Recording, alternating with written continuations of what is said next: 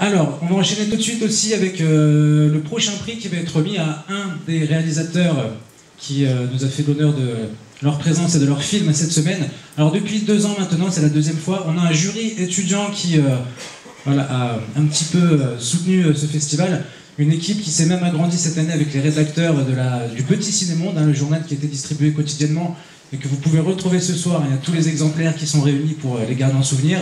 Je vais donc les appeler maintenant sur euh, scène. Ils vont remettre le premier prix de la soirée, le prix étudiant.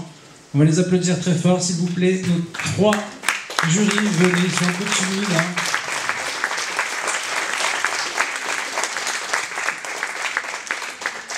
Aurore, Nicolas et Simon, bonsoir, bienvenue. Alors, je vais vous laisser la parole sans plus attendre. Eh bien, je t'en prie. Bonsoir. D'abord, rêver. euh, alors on, devait faire 4-5 lignes. hein. Euh, D'abord, euh, je voulais vous remercier l'équipe euh, euh, du festival euh, pour euh, d'abord la confiance. Enfin, C'était vraiment chouette euh, cette expérience. Plus fort, c'est ça? Oui. C'était vraiment une expérience euh, formidable euh, puisque cette sélection était vraiment chouette, des, des- des films de grande qualité et d'une grande diversité. Enfin, on est très contents.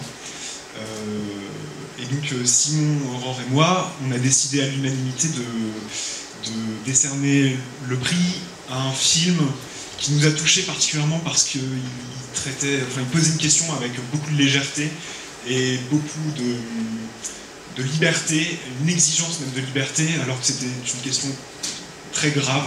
Euh, J'espère que vous aurez l'occasion de le découvrir. Euh, C'est Paul, Paul Beau de Julio Hernandez Cordon. On a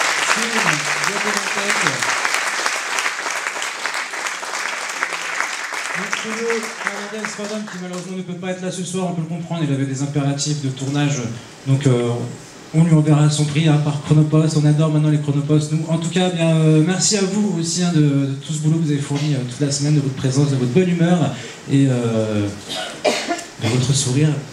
Voilà, on va euh, laisser place maintenant à euh, nos charmantes petites clowns qui nous ont préparé une surprise.